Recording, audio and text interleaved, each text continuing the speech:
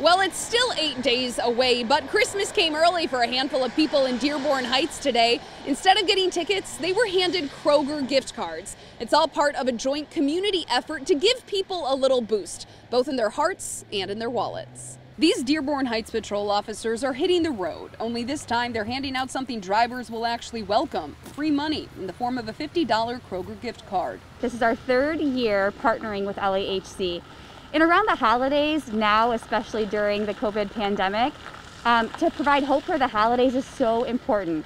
And that little bit of joy when being pulled over by a police officer and having the surprise instead of a ticket does just that. Kroger is partnering with Leaders Advancing and Helping Communities, or LAHC, to make this happen. It's called Santa on Patrol.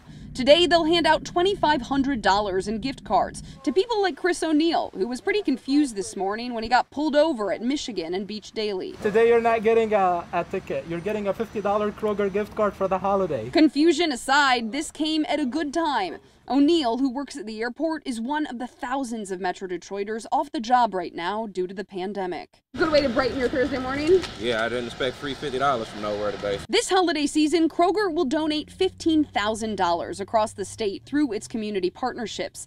This is LAHC's fifth annual Santa on Patrol. Executive Director Wasim Mahfouz says despite the logistical hurdles posed by COVID 19, it was more important than ever that they made it happen and hopefully spread some holiday cheer along the way. This year's event uh, is a little different and special because of COVID 19 and how it affected many families in our community. Uh, many people lost their sources of income. In Dearborn Heights, Jenn Schanz, 7 Action News.